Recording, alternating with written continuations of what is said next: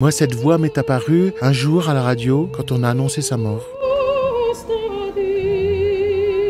J'avais 17 ans, c'était en 1977, et j'entends le Castadiva, euh, qui était un des airs qu'elle chantait le plus sublimement, et je suis immédiatement happé par cette voix, parce que c'est une présence incroyable qu'elle a. Vous savez, c'est des gens, d'ailleurs, des mêmes, presque des mêmes années, comme Edith Piaf Mm. ou Jacques Brel, ils sortent du haut-parleur et ils viennent auprès de vous pour vous raconter la vie, pour vous raconter les tourments, pour vous raconter l'extase, le bonheur, etc. C'est des gens qui sont pleins et qui ont une voix pleine Mm. de toute l'histoire de l'humanité.